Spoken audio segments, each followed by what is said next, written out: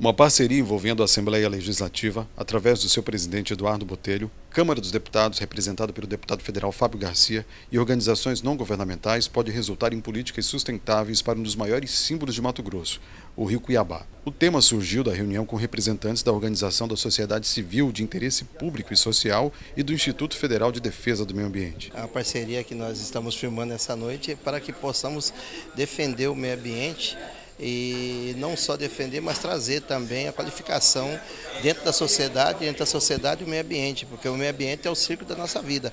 Preservando o meio ambiente, estamos preservando a nossa própria vida.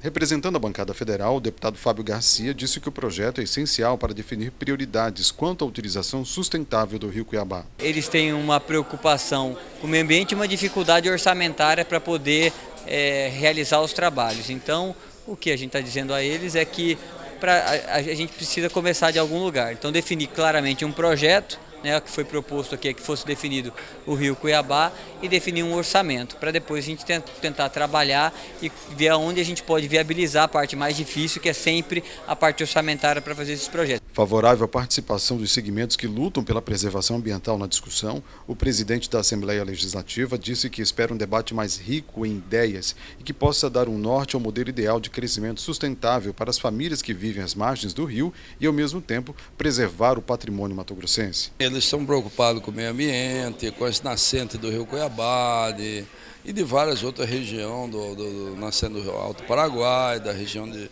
Barra do Garça. Então é importante essas pessoas que são preocupadas com o meio ambiente.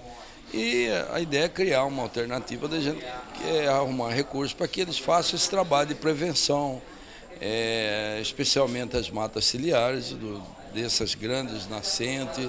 Nós já vamos discutindo coisas para colocar o pessoal da Assembleia participando, as comissões de meio ambiente da Assembleia também participando desse trabalho.